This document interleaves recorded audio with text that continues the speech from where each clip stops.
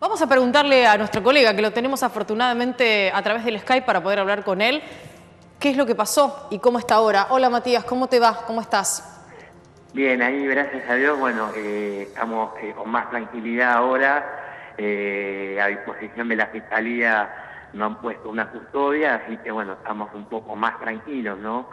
Hace más o menos tres meses nosotros empezamos a investigar a raíz de un policía con identidad reservada, eh, una convivencia entre lo que denominamos círculo de poder vicioso, ¿no? Un sector de la policía, un sector de, lo que es la política eh, que gobierna nuestro pueblo y un sector económico que está ligado al monopolio de Internet y a la nocturnidad, ¿no? Estábamos con, mi familia, estábamos no era de la tarde tomando un café y llega policía a punta de escopeta abriendo la, la puerta, se me violó todas las garantías constitucionales.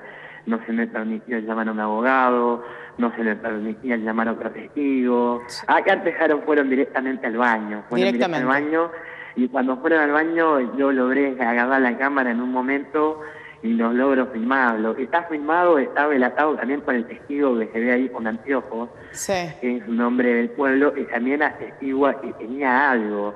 Después la, el mismo policía con identidad reservada, que nos viene relatando las secuencias de, por lo menos, repito, por lo menos hasta ahora sospechas de corrupción, no, nos ratifica que fue una jugada armada en base a una denuncia falsa. Pero lo más llamativo, el que hace la denuncia, es el que termina pegándome, es un informante o hablando mal y pronto de, de la policía, es el mismo matón que utilizaron para agrementarme, ¿no?